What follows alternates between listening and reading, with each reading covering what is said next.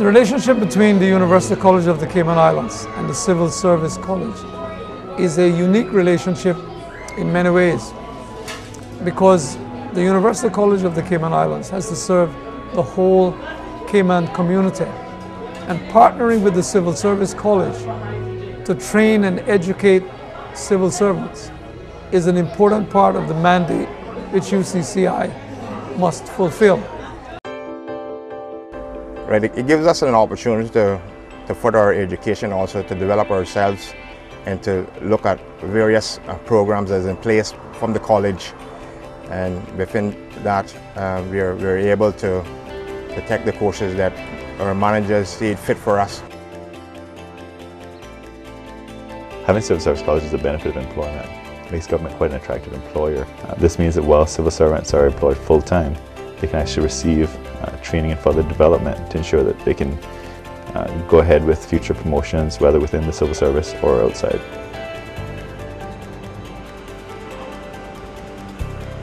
I personally feel that it's facilitating um, further development and, and training because in, nowadays, you know, you have to have, most jobs are requiring you to have more education.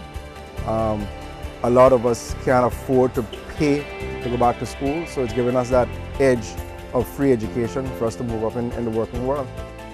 We have a very short history. We started in 2007 and in 2009 we launched our associates program.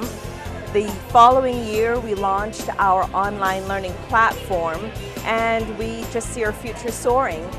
Well, certainly I want to support the Civil Service College.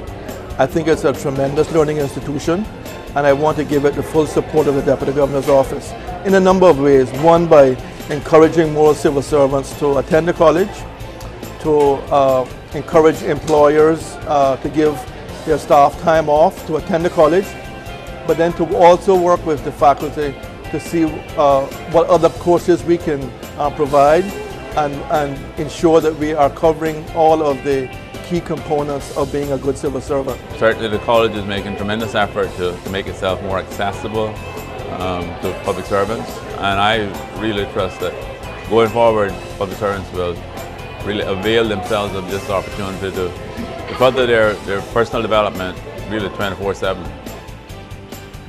This being the first, the pioneer, would have to say for the Civil Service College actually doing this for the fire service. Gives me great pleasure that we had so many that started. Right now we have six that has completed and hopefully more will complete and they will continue to further their education that at the end of the day some of them will be able to take over my position as a chief fire officer.